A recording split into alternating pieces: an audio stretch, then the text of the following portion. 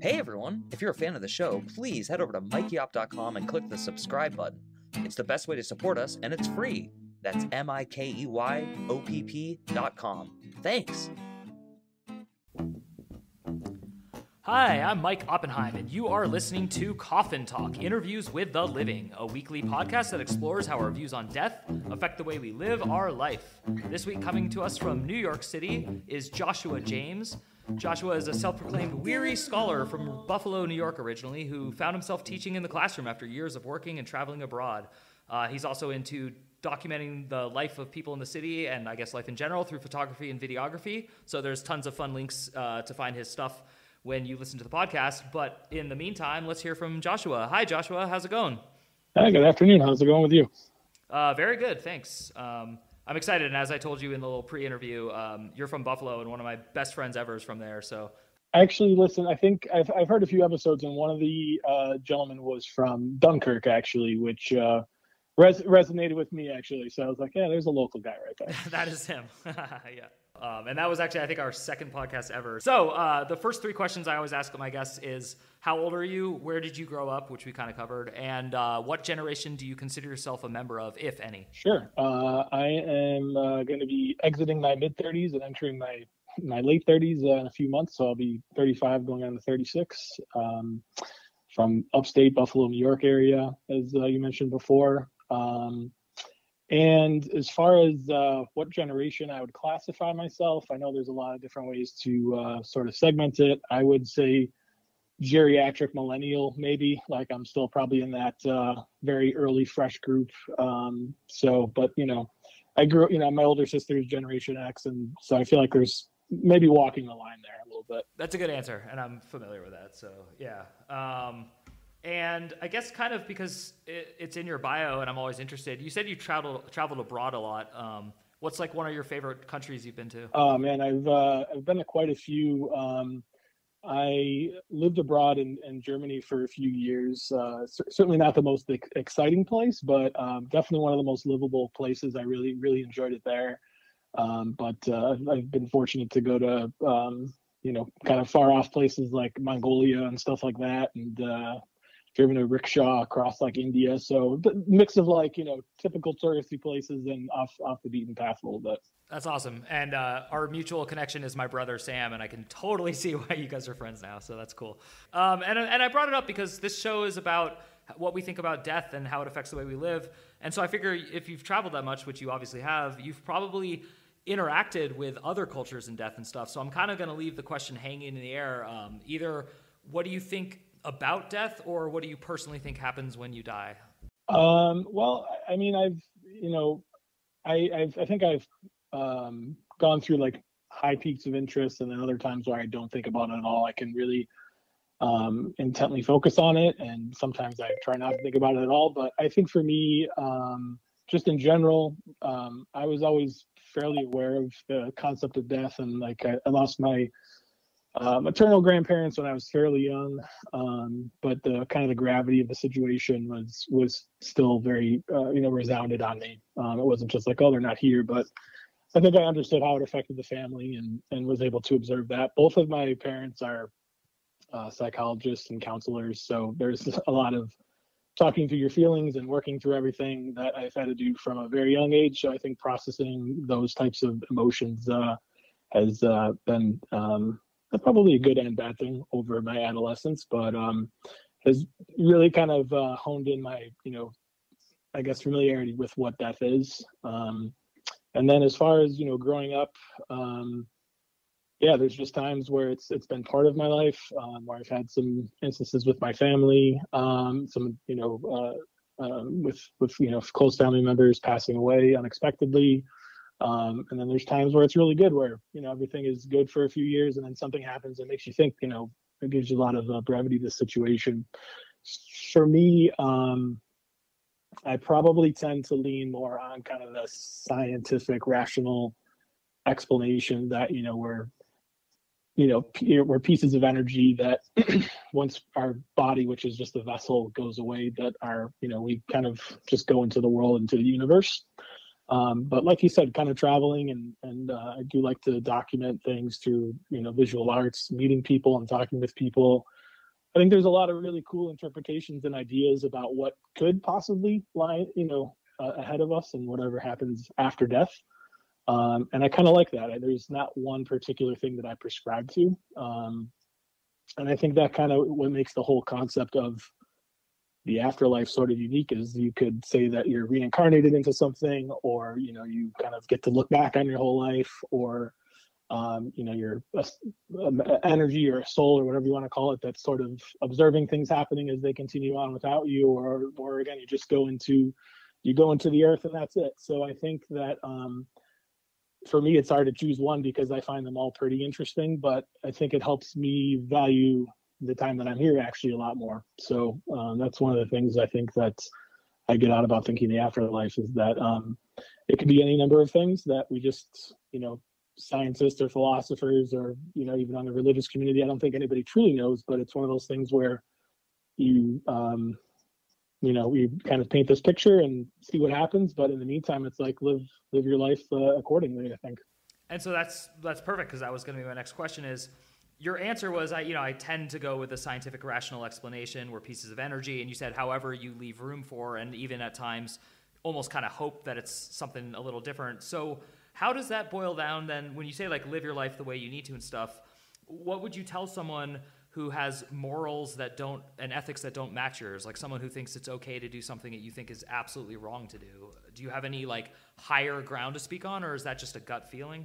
Yeah i think it um i mean i, I certainly think there are, are, different lines. I mean certainly from uh, you know an ethical and moral standpoint there are, i think um just lines that are out there because you know as we're here on earth whether you're you know from one place or another like we're all sort of interconnected whether people want to prescribe to that or not. So i think ethically it's important to you know do good things and uh, pay it forward and things like that. More so not because it pays off at some point later but it's just you know we function as a group here. So um you know those things i think are inherently based on something else maybe besides you know passing away or the afterlife. But i think otherwise um I'm kind of in the camp that if it's um, something that brings you happiness um, that falls in line with those things, where you're you know not crossing maybe ethical lines or things like that, um, I think that's that's what you should get out of life really. Because um, again, like I said in the first question, um, there is no definitive amount of time that you're here. It happens you know quicker for some people than others, and uh, I think it's important that um, you try to enjoy some of those experiences while you can. Great answer. Thank you. Um, I really like the way you talk and think, and so I'm excited to uh, get as much out of you as I can with our remaining time.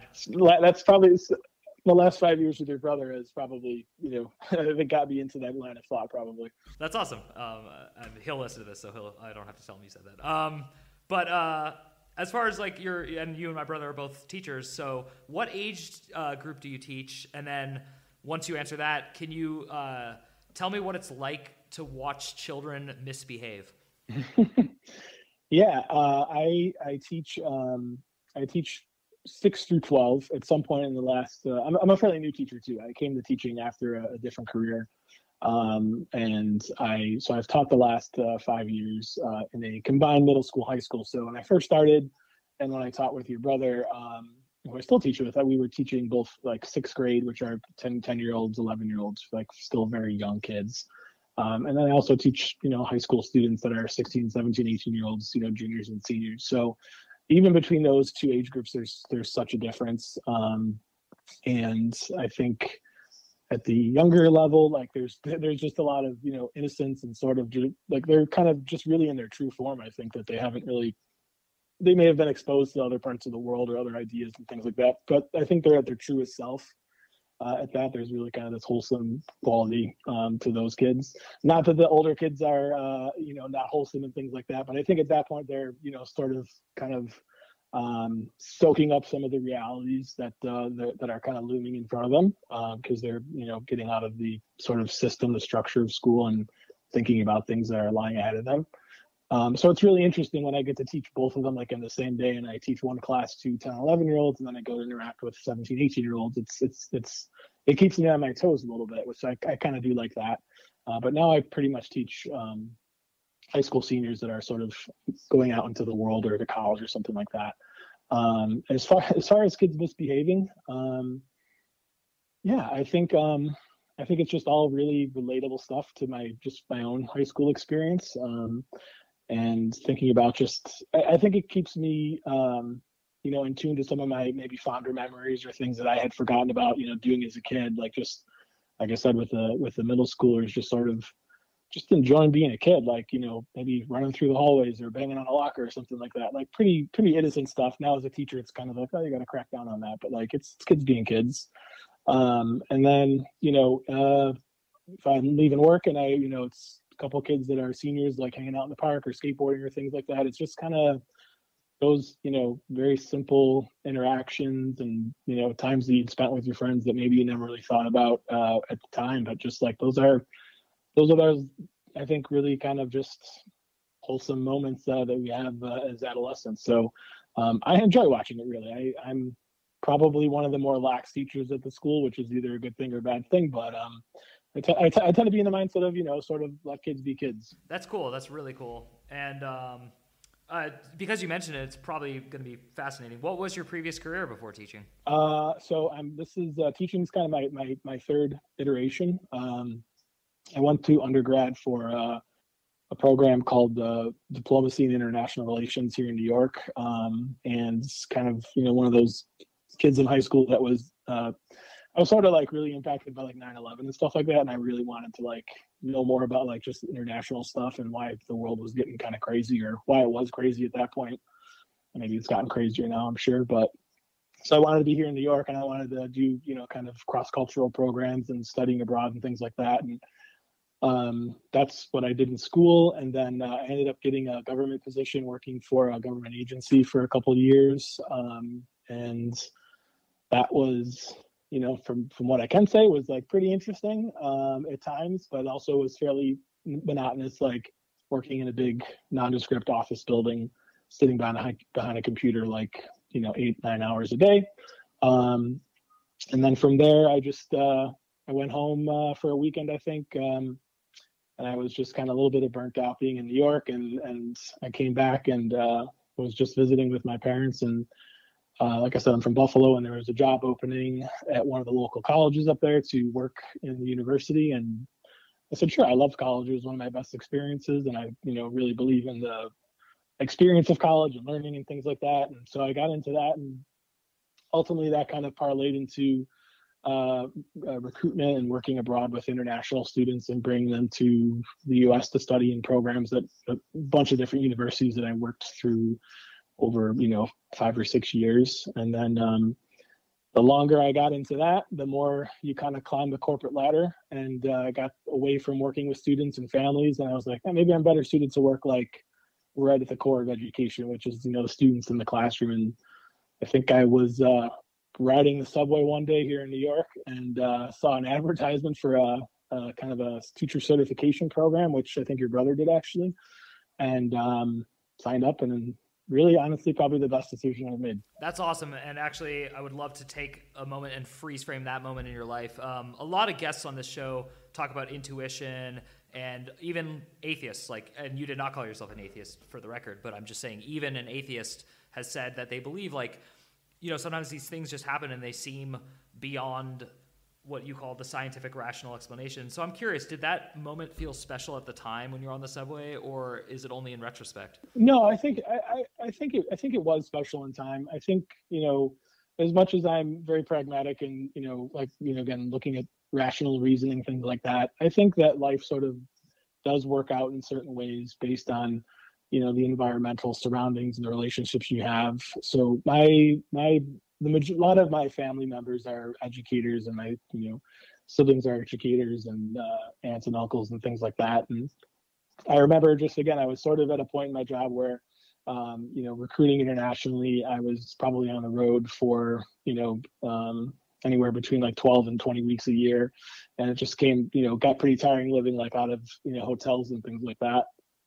And uh, I was down here for a meeting, and it's just kind of like, yeah, like maybe this is you know something that I've just been kind of, you know, uh, around my entire life from a you know seeing my you know family members go into this job field and realizing realizing that it was you know I think I had combination of sort of skills and experience that would you know, make it something worthwhile. And uh, you know, I think it was one of those points in your life where it's like you maybe feel like you're in a little bit of a rut, so you're willing to take those risks, and you're thinking, you know, yeah, why, you know, why the hell not? I'll do it. And um, yeah, I was definitely, I distinctly always remember, you know, sort of uh, resigning from my job and like really just kind of going all in and like figuring out like man like am i getting out of you know getting out of my element and it's definitely a huge learning curve and you know quick you know shout out to teachers. It's it's probably one of the hardest jobs out there but um, it's also one of the most rewarding. So I'm, I'm really glad i did it. That's cool. Yeah. I taught for nine years and i feel exactly the same. And i can't go back only because of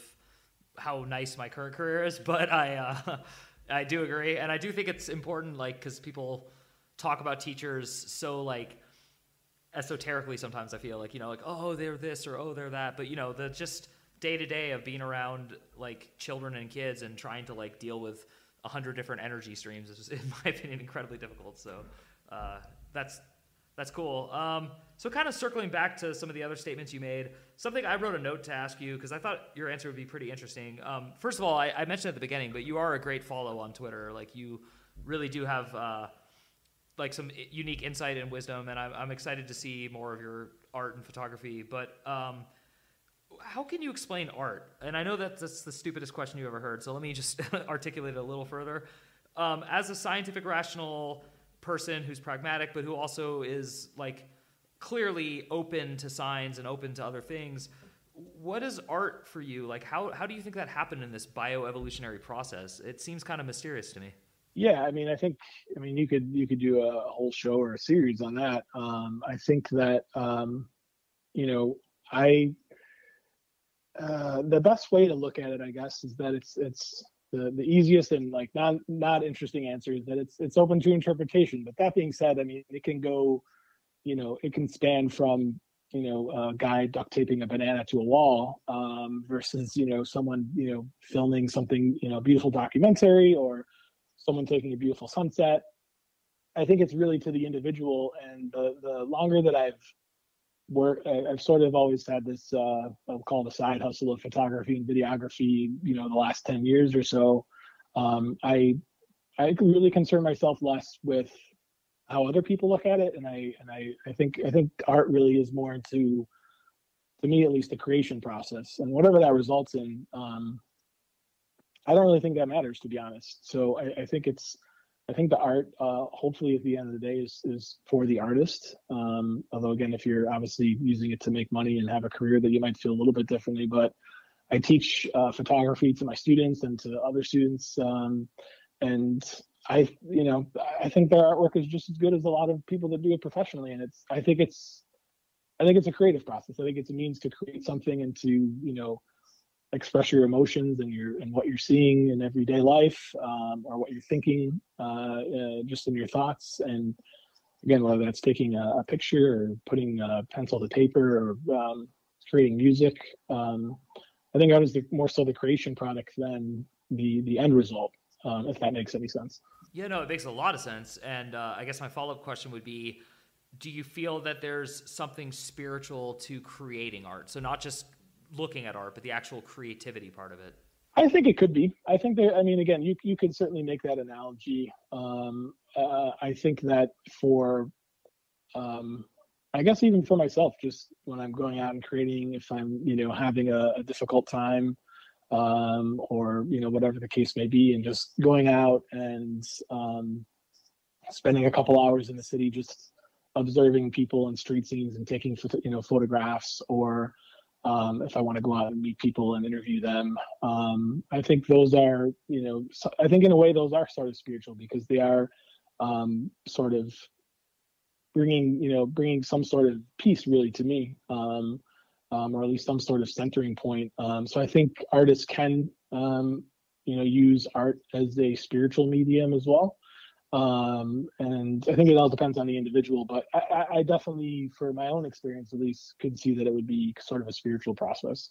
That's cool. Um, and so I'm, I'm asking these questions because your answers are very clear, but it's also very clear to me that you're like extremely open-minded in a unique way. So I want to kind of hear your responses to a lot of seemingly random questions because I think for our general audience, you might actually be more normal than they think or we think. Um, and so, uh, especially because you, I mean, your background, your parents were both psychologists. You talked about feelings, um, but you also took this approach to life of like go out there and get it. You know, living in Germany is not easy. Um, I've lived abroad. It doesn't matter where you go; it's hard. Um, culture shock is a real thing.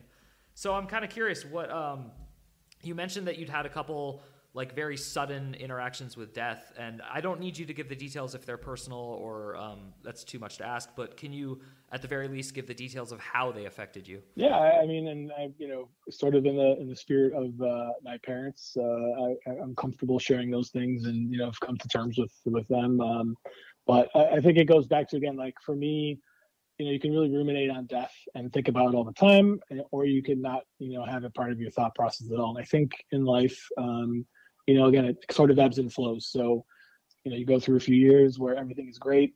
You don't think about it once. And then uh, for me, uh, when I had just graduated college, I, I had an uncle who um, had, you know, sort of very abruptly and out of nowhere uh, taken his own life. And that was obviously a very sobering uh, uh, event. And it was, you know, very catastrophic for my family and for my father, um, who, who lost a brother and things like that. And I think it really brought in a different thought of um, passing away that I hadn't really thought about before. I had had family members, you know, pass away from illness or old age or things like that.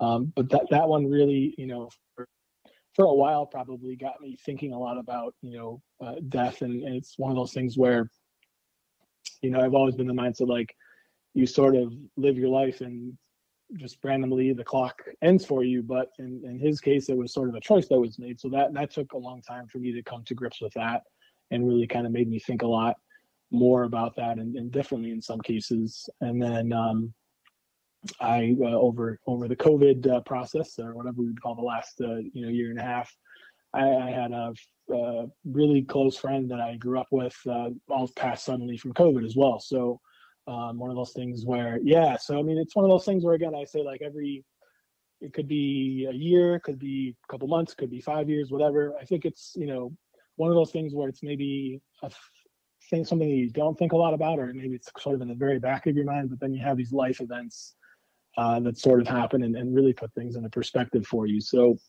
those events have always sort of kind of brought me back into it and because maybe they were a little bit more impactful. I think that, you know, I think I mentioned it before, but it sort of stays in my thought flow or process because it helps me just make those decisions uh, as I'm, you know, living my life. So if there are opportunities that I want to take or things that I want to do, I usually encourage myself to do it um, because it's, you know, life is a very kind of brief thing and for for some people. Wow. Yeah. I mean, that was touching. Thank you. I um, yeah, I, I want to say like I'm sorry for your loss, but it's it's beyond that at this point. So um, yeah, that's that's rough though, and uh, I like that you take death repeatedly over and over again and try to make it so that your life feels more meaningful and that you make changes. And I'm also impressed by your decision on the subway that one day. So with that said, I kind of got a couple wrap up questions for you. Um, the first one, because you're an international man of mystery, um, what would be something from a different culture that you wish we adopted here in America? So um, I guess it sort of goes into uh, you know I, I, do visual work on the side with photography and, and videography. In the last uh, three years or so, I've been working on this documentary film in Iceland, um, and um, we haven't been able to go over to finish it because of COVID. But um, I've uh, been over there quite a bit and spent a lot of time in Lice in the last three years. And the gentleman that we're sort of doing this documentary on um, was a uh, you know punk rock atheist, like very anti-establishment guy uh, until he had his own kind of life-changing experience. And um, you know he has this saying where it's sort of um, I don't want it's sort of akin to que sera sort of, but just like you know it, will it'll work out in the end. I, I forget the actual Icelandic uh, terminology. I'm sure I'd butcher it if I knew how to say it. But um, I think their approach to life, which is um, sort of be be true to yourself and be who you are, and it'll it'll work out one way or the other, is uh, something that I've really been uh, sort of impacted by probably since I've been traveling there and, and heard it from this gentleman, but also really have just seen it with the, the way people kind of lead their lives over there. So it's uh, it's kind of a very um, I would say, uh, welcome simplicity that maybe here we don't always have because we're, you know, we've got a million things on our plates and we're going, you know, from one place to the next, and uh, it's refreshing in a way. Cool, very cool. And this question might be more difficult to answer, so don't feel any pressure. Uh, America exports its culture to an insane degree, but is there something you think that in your travels other cultures could actually take from us that would help them out? And again, I'm asking this in a very like un uh, assimilation or you know what I mean. There's a lot of BS uh, out there of accusations about uh, cultural appropriation. So this question's clean. I'm just curious if you think that there's something here. Yeah. It is. That's a great question, uh, actually, and uh, it's it's it's super loaded. And I think that at different stages of my different stages of my life, I probably would have answered it uh, in a different way. Um, and you know, I definitely don't want to come across as like cynical or things like that. But I don't. I'm trying to pinpoint one thing that I would say we should export. You know, not uh, you know, without getting too far down the rabbit hole. I'm not filled with a lot of things that we're that we're doing um, that we're that we have done in the in the last few years, but I do think there's this sense of, you know, it's a step below like, um, you know, saying that like we should have everything, but I, I do think there's this sort of, I don't know, like I would say like American spirit of like I should have be able to at least have the opportunities or to go get opportunities. Now, you know, I would disagree that everybody has those that ability to get those opportunities in this country, but again, that's another conversation. But I think just that mentality that like I should, you know, if I want to go out and do something, I should be able to do that um, because I think, and I see it a lot just even in my teaching because I, I teach students from all over the world. I think there's in some cultures there's very set ways of where it's still, you know, there's a lot of very rigid expectations and structure, and um, I think that's what I really like about teaching too, is that these students who maybe have come from a very formal or civilized, um, or not civilized, but a very formal or structured school system in China, for example, can come over here and you know what you like or don't like about the American school system is that at least they're like thinking for themselves for a change, and they're doing these things that like maybe wouldn't have been appropriate or chastised back uh, in, in their in their previous country So I think maybe that I guess I would I don't know if American spirit is the way to coin it, but there's sort of this like and again attitude makes it sound bad but like i think just that idea that like if you want something like you should at least have the opportunity to try and go get it not that you should have everything but like you should have this ability to at least you know go and exercise that ability to try and get something that's funny you made me think of something like there's a cliche phrase shoot for the stars but no one says like every star is yours and you own it and deserve it so yeah that line between aiming for great things for yourself but not demanding it and then selfishly hoarding it so yeah dude i I love your attitude. I'm uh, very, very up on Joshua James and his philosophy. So um, thank you so much. Uh, I do want to give you a, uh, the last uh, little bit of the floor here. So if there's anything you just want to say to the internet, uh, now is your time. Um, I think just you know go out, go out and enjoy your life, and I think uh, just you know try not to second guess yourself, and um, you know again, life is a is a very finite thing, and um, uh, it's you know all these things are very cliche that I'm saying, but I, I think that um, you know every every day is this new chapter that uh, people should you know make some sort of experience about it, even if it's just you know have a hopping on the subway to go to work. Like there's there's an experience there, there's a story there, and sort of value those little moments. Um, and uh, I think life becomes better at that point. So it's something that I try to do every day if I'm just again in my routine of going to work, like looking for those things that make it kind of an interesting day. Awesome. Well, thank you again, Joshua James, originally from Buffalo and now in New York City. You have helped us put another nail in the coffin, and we are very appreciative.